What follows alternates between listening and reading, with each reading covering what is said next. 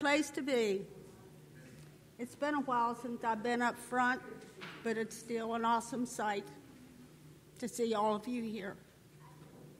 And to know that there are those, the shut ins, that cannot get here, they can still worship God through the internet by watching us. And I just appreciate everybody. And I would like to.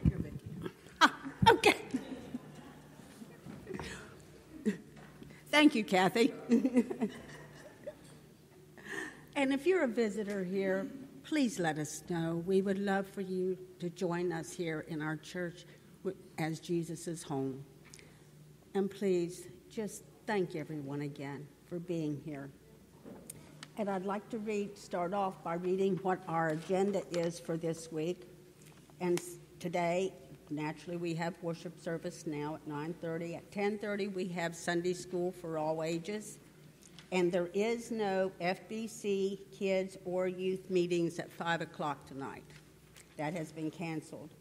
Tuesday at 12 noon will be the uh, american baptist women's lisa simmons circle meeting.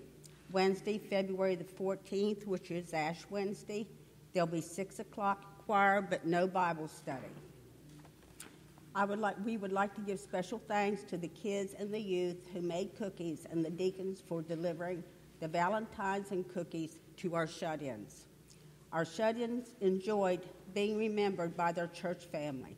It is little things that touches the heart. Thanks to everyone who furnished dough and helped with this in any way. Also to the Christian Ed board members for the wonderful meal, music, and fellowship on Sunday evening at the Sweetheart Dinner. The CE board thanks everyone who attended as well. Be in prayer for Pastor Mark as he will be in class at Parchment Valley this week, Monday through Wednesday. If you have a need, please contact the office, church office, and a deacon will be contacting to assist you. If there is an emergency, please call the church office, and Kathy will contact Pastor Mark. Those going to see Daniel in Lancaster, Pennsylvania on March 22nd, the $100 deposit needs to be paid to Annika Swisher, Swisher by February 25th. The Broad Run Baptist Church is holding a men's retreat on March 2nd at the Mount Vernon Dining Hall at Jackson Mills. All men are invited to attend. It will be 8 a.m. to 4 p.m., and the cost is free. Breakfast and lunch will be provided. You can register online by going to broadrunchurch.com. On February 22nd, everyone is invited to attend a thank you reception at the Senior Center. It will begin at 1 o'clock p.m.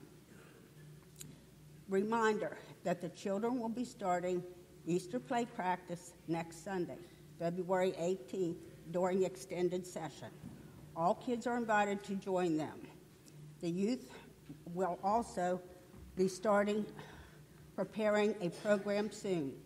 Mark your calendar so everyone can be involved. Some Ash Wednesday information. Ash Wednesday is a Christian holy day of prayer, fasting, and repentance. It marks the beginning of Lent, a season of 40 days, excluding Sundays, leading up to Easter Sunday.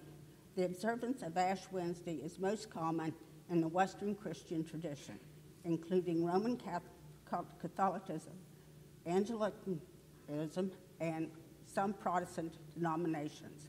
Also called by the Day of Ashes, Ash Wednesday starts Lent by focusing the Christian's heart on repentance and prayer, usually through personal and communal confession.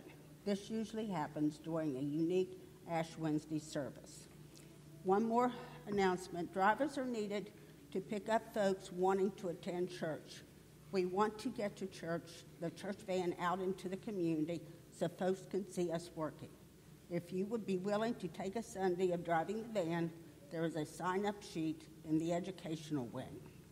We've already got February and March covered thanks to Pat and Michelle Botkins and Tommy and Pam Tucker.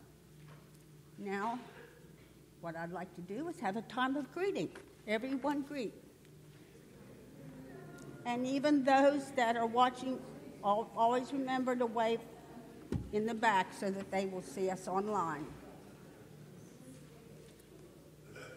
And now we will sing our praise hymn, praise him, praise him.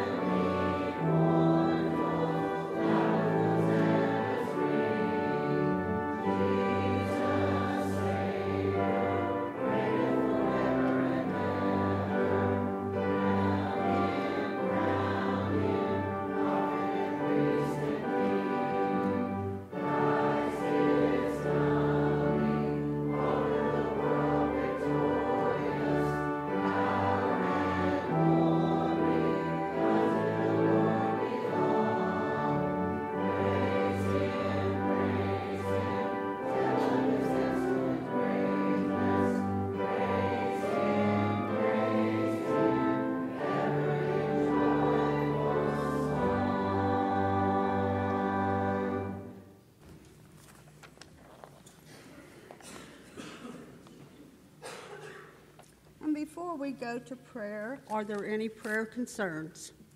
Yes, I have one. Uh, my uncle, um, Hubert Duncan, but we call him Bud. They got him on Bud Duncan? Duncan, Duncan. and he's got, they, he's on hospice now. Andy Clark? Ralph Miller? Pardon? Phil.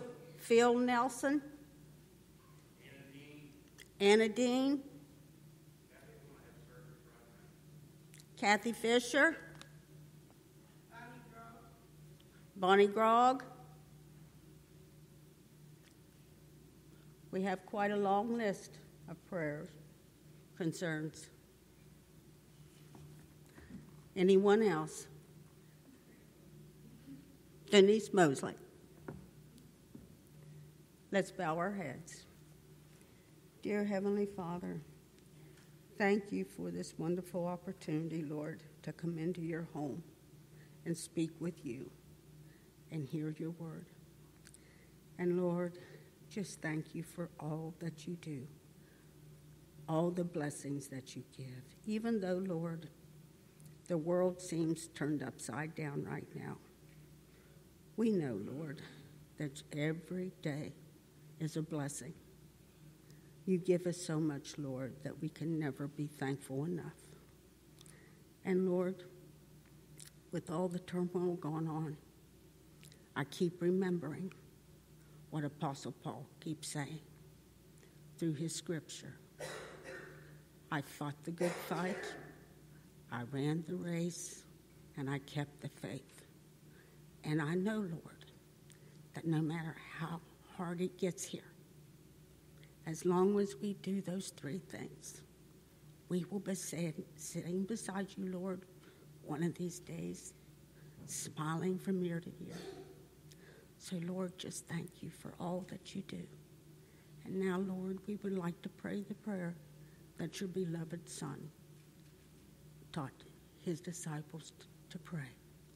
Our Father who art in heaven, hallowed be thy name. Thy kingdom come, thy will be done on earth as it is in heaven. Give us this day our daily bread, and forgive us our debts as we forgive our debtors. And lead us not into temptation, but deliver us from evil. For thine is the kingdom, and the power, and the glory forever. Amen. And now we will have children's chat with Charlie Streets. And the preschool second grade are excused to attend the children's church. Hi guys, how are you? Good. Yeah? Everybody happy to be here today? Yeah. Yeah? Good, I'm happy to see you. And have fun. All right, who can tell me what holiday we're going to be celebrating this Valentine's Day. Valentine's Day. You and Annika, or Annika, Ali and Arabella are already with your Valentine's Day gear, aren't you? Right, so when we celebrate Valentine's Day, we see lots of what? Heart. We see lots of hearts. And Valentine decorations that have hearts with. Yeah? We see them at the grocery store, we see them at school. Where else do we see them? Do you know? Maybe on your clothes? Yeah? No, Oh, and uh, Where? What about at the library? Do you ever go to the library and see things hanging at the library ready for Valentine's Day? yeah. Yeah, we see hearts everywhere. Like she said, we see them on different things. We see them on stickers. This is a heart necklace that Brent made me years ago for Mother's Day. It's a heart, shows that he loves me. We see it on candies. We even see them on cards. They're everywhere this time of the year. Did you know that in the Bible it refers to the word heart over 700 times? That's a lot. But when we're talking about heart in the Bible, we're not talking about heart candies or heart stickers. It's talking about our innermost being, the thing that makes us help think and make choices and decisions. But God tells us that we have a really big problem with our hearts. Do you know what that is? Mm-mm. We have sin in our hearts. And if we have sin in our hearts, that keeps us apart from God. But thousand years ago, long before you were born, he had a plan for the sin in our hearts. He had a plan to send his only son, which is who? God. Jesus. God sent his son Jesus, and Jesus was not full of sin. He was the only human to walk the earth that did not have sin in his heart. He was pure. He helped heal the blind, and he helped heal the sick. He also did miraculous things. He calmed a storm when his friends were in it, when they were terrified, and he died on the cross for our sin. And when he died on the cross for our sin, God promised us that we could put all the sin of the world. Oh, my cross is a little funny looking. All the sin of the world on the cross, and we could be forgiven. So you would have a clean heart. Okay? Like, cross kind of looks like I could, well, yeah, like his arms spread across. Very good. All right. So before we go, I'm going to read 2 Corinthians chapter 5, verse 21, and it says, God made him who had no sin to be sin for us, so that in him we might become the righteous of God. Okay? So when we go back, we're going to talk a little bit more of how we can keep sin out of our heart by asking for forgiveness and then pray. Okay? All right, so let's bow our heads and say a little prayer and then we'll head back. Dear God, thank you for the gift of a new heart. Through your Son, Jesus Christ, we find salvation. And we praise you, Lord, for your endless love and forgiveness that you give us. Help us that when we sin against you, that we come to you and ask for forgiveness. In Jesus' name we pray. Amen. All right, ready?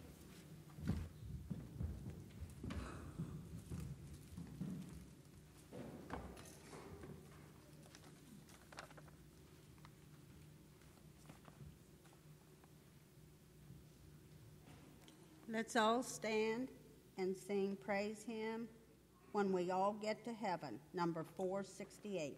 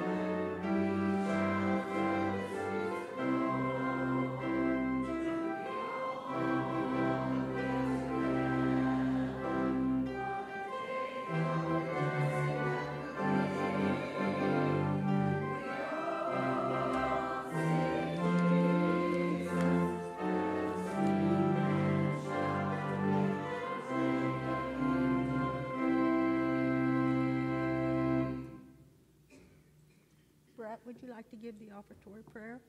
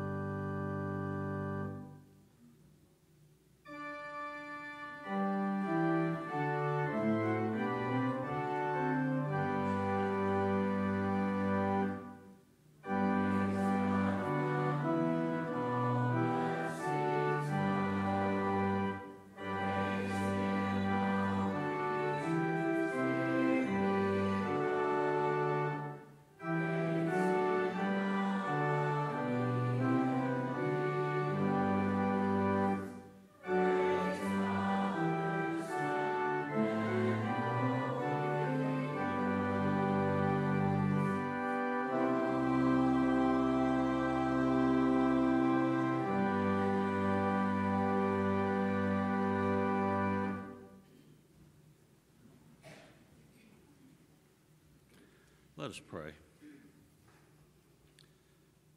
Dear Father, we come before you this morning, Lord, again, thankful to be in your house and, to have this opportunity to be here and to just worship you freely.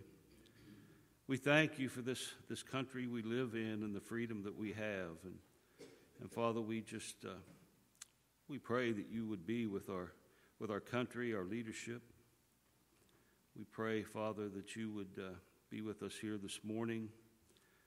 We thank you for the presence of your Spirit with us. And, and Father, we just pray that all things today would just uh, glorify and honor you. Father, we lift up those who have been mentioned today, so many in need uh, within our church family and our own families, our community.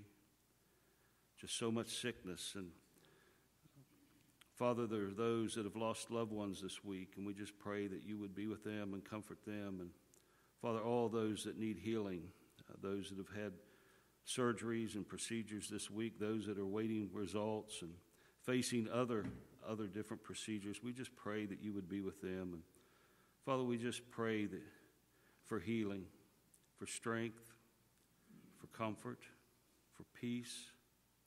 We pray that you would be with the families and the caregivers. And Lord, we just pray that you would be with us.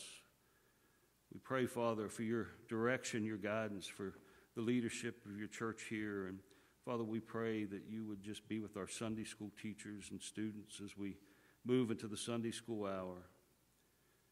We thank you for our youth and our children and those who, who work with them.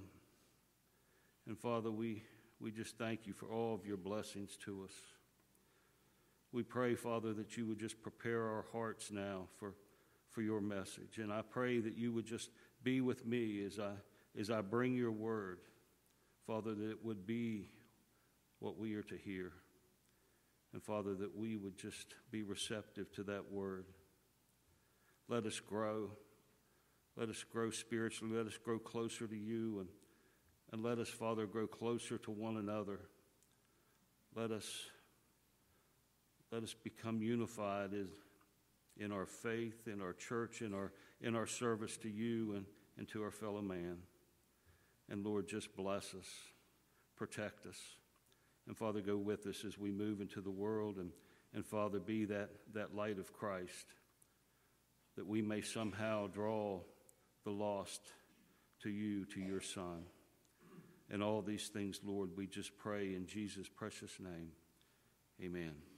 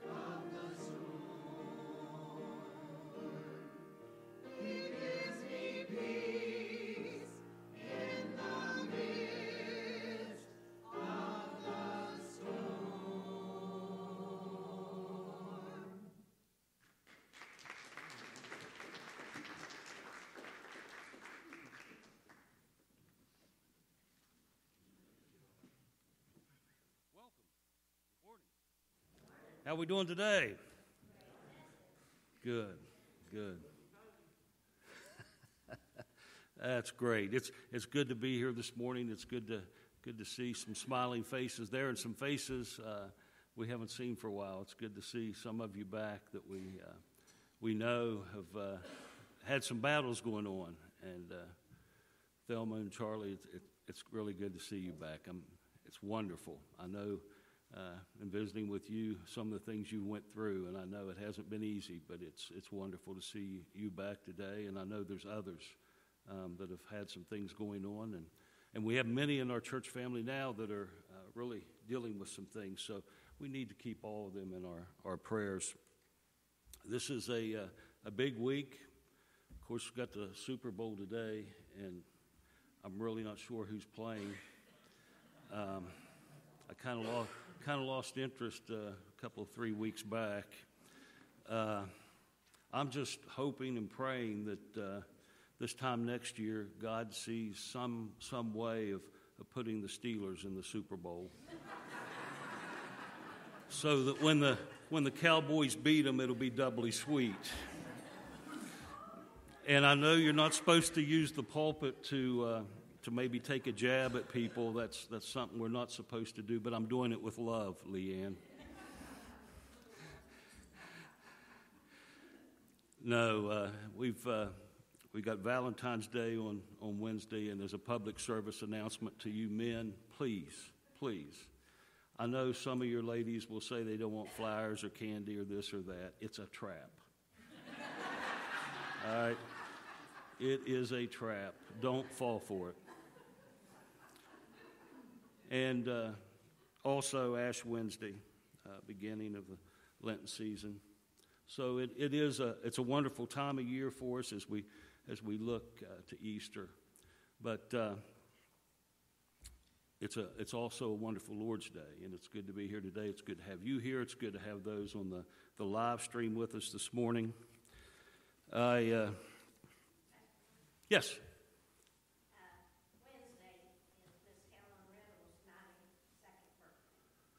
Wow.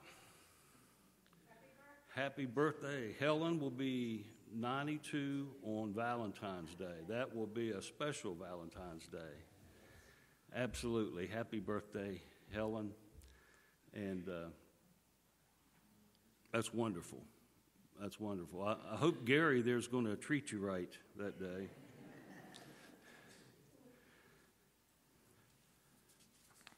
We, uh, we've got some opportunities coming up with the men's retreat and the women's retreat next month. I hope you'll consider doing those things. We had a, a great men's uh, prayer breakfast yesterday.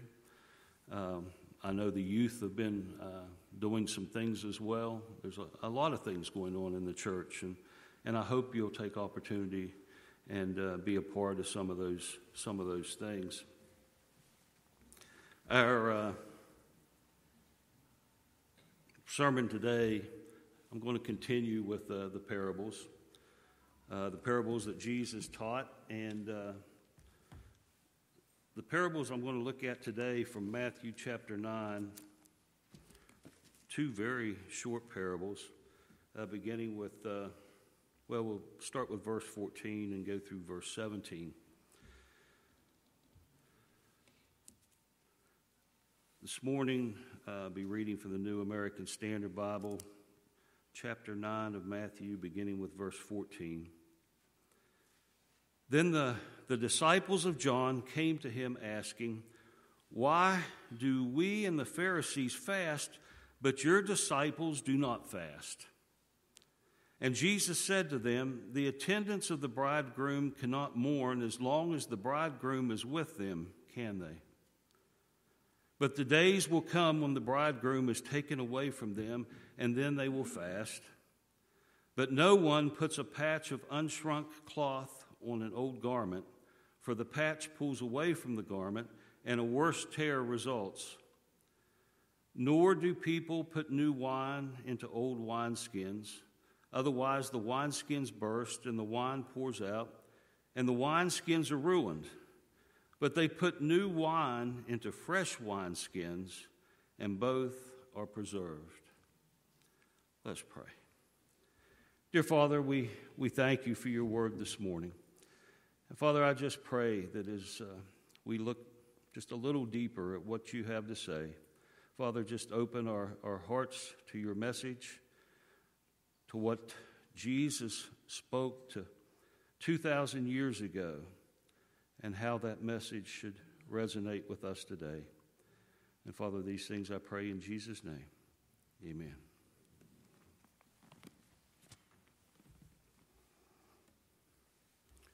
Fasting isn't something that uh, probably most of us do much of today, but it was a, a, a practice that occupied a, a large place in the, in the religious observances of many of the Jews as, as well as, as some others. And it was a, a common religious practice back during the ancient world. The only time fasting was prescribed in the Old Testament law was, was on the Day of Atonement. In the Old, or excuse me, in the New Testament times, however, pious Jews would, would fast on Mondays and Thursdays every week. And, and they would also fast at other solemn times throughout the year and as different events occurred during their life. Whenever they felt like God should be uh, approached in a, in a special way of humbleness and, and humility, uh, in a time of trouble, in a time of need in their life, they saw fasting as the appropriate way to, to start that. And, and the disciples of John the Baptist, they approach Jesus and they say, Why do we and the Pharisees fast, but, but your disciples do not fast? And, and it's likely that the, that the Pharisees instigated this. They, they probably talked the, the disciples of John the Baptist into doing this because they figured that those disciples had more clout with Jesus. Now, regular fasting twice a week, plus on other occasions, would, would certainly seem to fit the description of fasting often. So, th- so these men are saying to Jesus, we, we fast often. We, we fast more than what the, the law prescribes, but your disciples, they, they don't fast at all. I mean, Jesus, what, what's up with that? And, and if you remember, Jesus himself, he, he fasted at the time of his temptation in the wilderness. But there's no there's nowhere in Scripture, there's no record where we see that, that Jesus made fasting a regular practice in his life. But John the Baptist disciples and, and the Pharisees built, built fasting into their, their standard regimen. It was their religious practice, and it was far beyond the requirements of the Old Testament law. And, and, although this was not bad in itself, they began to believe that any person who, who fell short of this standard that they set was, was less devout in their faith, wasn't quite as religious as them. Some Christians today, I think we, from time to time, we do the same thing with our own spiritual tests. Maybe, maybe you've done that. Maybe you do that now. Have, have you ever set certain standards in your mind that you believe a, a Christian must meet in, to be a true follower of Christ? And, and in most cases, what this is, it'll be something beyond what is found in Scripture. It will be something beyond what is generally and, and reasonably accepted by the, the Christian community. Maybe you have certain theological beliefs or interpretations of Scripture that you will absolutely not accept any, any waiver from. And, and this can lead to a sense of superiority and, and judgment for those who, who hold a different view than you do. Maybe you have expectations regarding certain behaviors or, or lifestyle choices, such as abstaining from alcohol or avoiding certain forms of entertainment or adhering to, to strict codes of conduct? Do you, do you find yourself scrutinizing these people? Do you look down your nose at these people who, who deviate from your own set standards? And, and what about spiritual disciplines or practices such as maybe regular prayer or, or Bible study and meditation, maybe participation in, in church activities, or, or maybe even tithing. Do you see these things as, as indicators of spiritual maturity or, or commitment to Christ? Do you, do you look at those who, who do not engage in these practices to the, to the same extent that you do as less devout or not quite as dedicated to being a Christian as you are? And, and what about those Christians who have different social or political views, political beliefs than you do? Those who hold more progressive views on issues such as abortion, the LGBTQ, the rights, the, the immigration, their rights are, are often ostracized or, or at least questioned about their faithfulness to, to, biblical, to biblical principles. And it's, and it's not that these standards that we, that we have are wrong, right? It's not that they're wrong in themselves. They can be a great indicator, but, but they're not the only indicator. As an example, these, these Pharisees who were boasting of their fasting rituals, and, and they were good at fasting, there's no doubt about that, but they were only boasting because they were boasting of their religion. On the outside, they, they have, may have looked like great men of faith, but they were, they were only great at observing the law.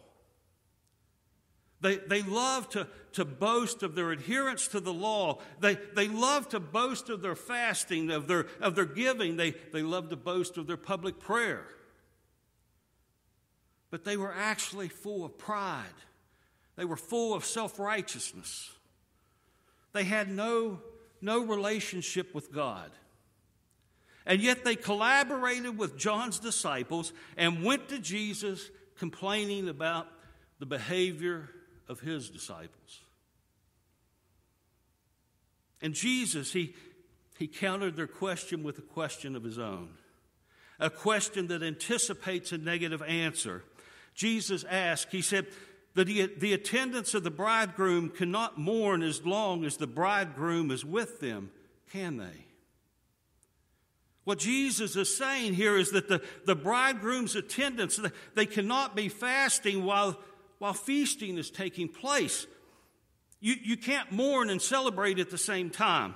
The expression, the, the attendants, it refers particularly to, to that group of wedding guests who, who stood closest to the groom.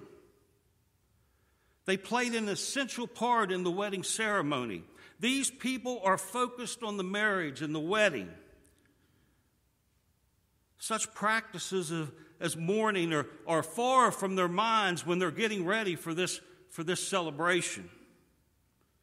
And, and the wedding feast, it could go on for several days, but, but Jesus did not say as long as the, the festivities go on. He says as long as the bridegroom is with them. He concentrates on the presence of the bridegroom.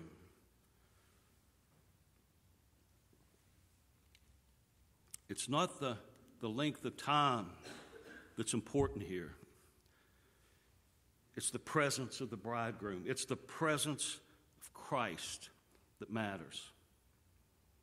Jesus' response to John's disciples was that fasting while he, the, the bridegroom, the guest of honor, is present, it would be inappropriate for fasting to take place. You see, the Pharisees and and John's disciples, they, they didn't recognize that, that Jesus was the Messianic bridegroom. Their pious sorrow is the sign of the refusal of Jesus and true repentance. They could mourn, they didn't recognize who Jesus was. In the second half of verse 15, Jesus does say that there will be a time when, when fasting will take place. He says, But the days will come when the bridegroom is taken away from them, and then they will fast. A time will come when, when fasting among the followers will be appropriate. Matthew makes it clear here that fasting was not a practice of discipleship while Jesus was with his disciples, with his followers, but he leaves the way open for it when the days after Jesus would be taken away from them. And Jesus' words, they, they point to this future time when the, when the bridegroom is taken away. And we know there's no doubt that what he means by bridegroom is he's talking about himself. And taken away means his death. Jesus is the bride, bridegroom. John the Baptist referred to him as such, and, and he also referred to him basically as the best man. In John 3 28, he says, You yourselves are my witnesses that I said, I am not the Christ, but I have been sent ahead of him. He who has the bride is the bridegroom, but the friend of the bridegroom who stands and hears him rejoices greatly because of the bridegroom's voice. So this joy of mine has been made full. Jesus' statement about being taken from them is, a, is an early indication here in Matthew that he would, would, he would not reign during his first coming. And it was difficult for all those around them who were hearing his words to understand that to understand what he was saying and, and it wasn't because jesus wasn't clear it was because their eyes were, were clouded with their own vision of who Jesus was and, and what his purpose was. And you know, we're, we're still like that today. As God speaks to us through, through his word, through those who, who preach his word, we sometimes we, we don't hear what he's saying because we refuse to hear anything that contradicts what we already believe. We try to make God in our image instead of allowing God to make us in His image. Here in this verse, Jesus provides a foreshadowing of his, his own suffering and death, and as well as the loss and despair of his followers. But few that were listening understood what he was saying. Jesus offered something new. That's the key point of all this. Jesus offered something new, something radically different. To make this point, he shared these, these two short parables that we read the patch and the wineskins. And Jesus, he, he begins by referring to a practice in, in poor households where patching old clothes with, was a necessary part of life. And I don't know about you, but growing up, I remember all my jeans had patches on them. And they started out being sewn and they were ironed on later on. And as the holes grew, they became cutoffs and shorts. But he says, no one, no one patches an old garment by using a patch of unshrunk cloth. What's important to note here is, is the wear of the garment it's the wear, it's the, it's the raggedness of the, of the garment that, that matters. It's, it's not what piece of garment it is. The wrong patch, Jesus says, is one of unshrunk cloth. It would be considerably stronger than, than the original item, the, the cloth of worn clothing. And, and a patch of this kind would be most unsuitable you couldn't use a, a, new patch on an old piece of clothing. And, and Jesus proceeds to explain that such a patch on, on such a garment would, would mean trouble.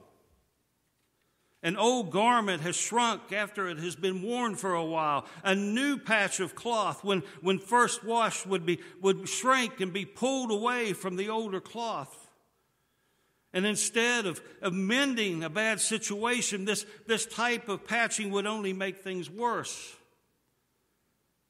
This piece of wisdom would be commonly known by those who were listening to Jesus.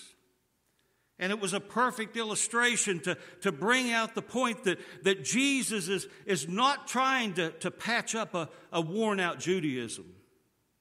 Jesus was saying this. He was saying something new and unusual is happening. A new era is dawning, and the old methods do not apply anymore. Jesus' message of the new covenant was too fresh and, and too vital to be attached to an old garment.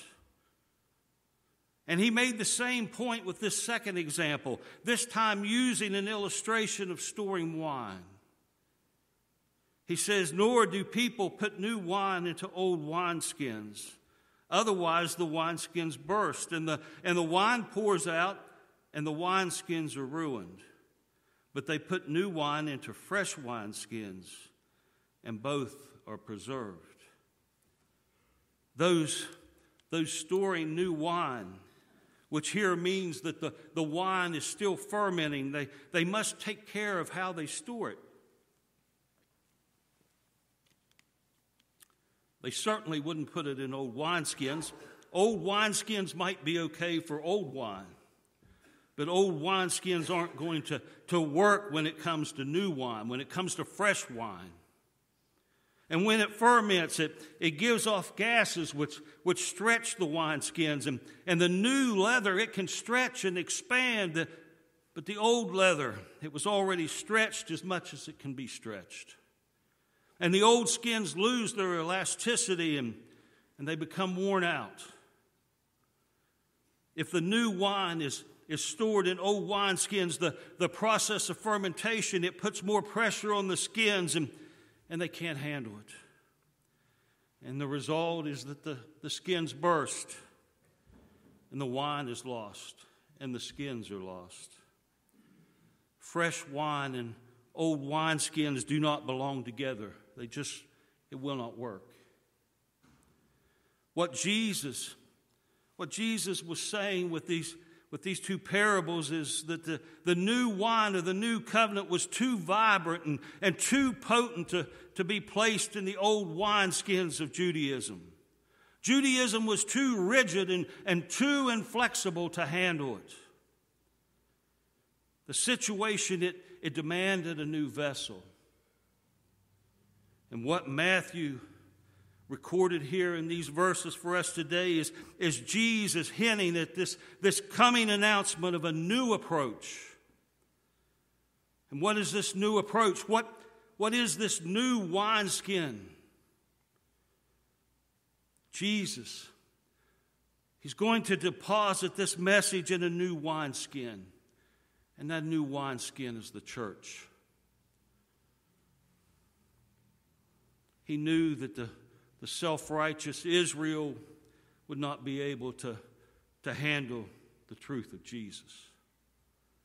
Israel was too rigid and unresponsive to, to carry the message to the world, and, and God Himself would use the church to, uh, to accomplish this goal. I sometimes wonder if maybe over the, the past 2,000 years, the, the church hasn't become too, too rigid as well. Sometimes we as Christians, we, we become too rigid. We become focused too much on religion. We become focused too much on tradition, focused too much on programs, too much on buildings, focus too much on finances, too much on our, our church image. We become focused too much on everything else except, except the message that, that Christ gave us to, to take to the world. The message, the message of God's love, the message of salvation, the gospel message. Sometimes we we leave it on the doorstep as we focus on everything else. Question What are you focused on today? Individually, what are you focused on today? Is your relationship with Christ even part of it? And I want you to think honestly about it. Because if it isn't, the rest of this means absolutely nothing.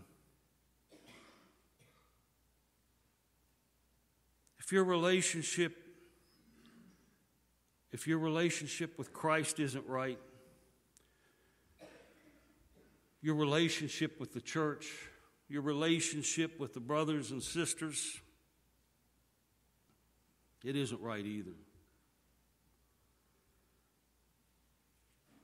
It's nothing more than a show. It's nothing more than just being fake.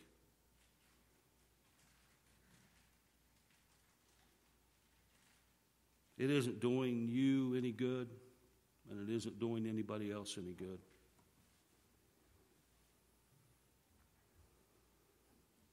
So that's, that's where we need to start. That's where you need to start. And if that's, if that's where you are today, if that's where you are today as you, as you think about your relationship with Christ, I'm guessing that right now the Holy Spirit is, is probably speaking to you. And if that's the case at the same time, I, I know Satan is whispering in your ear. And he's saying, let it pass. It's just another sermon, it's another Sunday. You know, things have been pretty good. Why, why rock the boat now? You don't want to commit, you don't want to commit your, your life to Jesus. Every day? Commit your life to Jesus every day? Are you sure? Satan is a liar, my friends. He's a liar. Jesus says, I have something, I have something new for you. Something new for you. Not a patch on, on your old life, but a new life, a new life, an abundant life, a glorious life with the Father. That's what I have. But you got to let go. You got to let go of that old life, that old tradition. God says, I have something new, something radically different. If you just be a part of that, let us pray. Dear Father, I thank you again for your word this morning. And Lord, I just pray that as you speak to each one of us, Lord, just, just let us let us respond to your spirit. Let us just push Satan down and ignore his temptation, his word. Let us rip that old patch off. Let us throw that old wineskin out and let us accept that, that new, that new life you promise us. I just thank you. And Lord, I just praise you, love you, and ask your continued care and blessings on this church. In Jesus' name, amen. As we prepare to sing our, our hymn invitation, tis so sweet to trust in Jesus. This altar is open if you would like to come and pray. And again, if the Spirit is speaking to you this morning, if, you, if you've never known Christ as your Savior, there's not a better time than now. And if you're not where you need to be and you know you need to rip that patch off and just take on that new life that Christ offers, I encourage you to come and pray. As we stand and sing, Tis so sweet to trust in Jesus, page 292.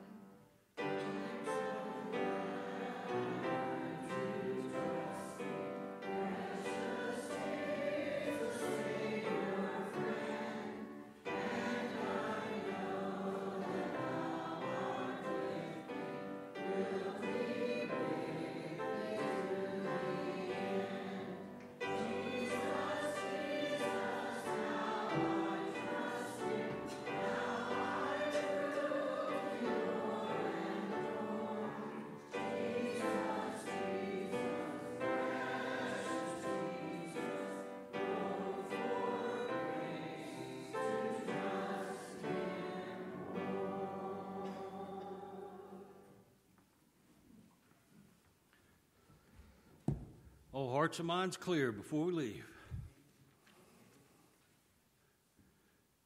All right.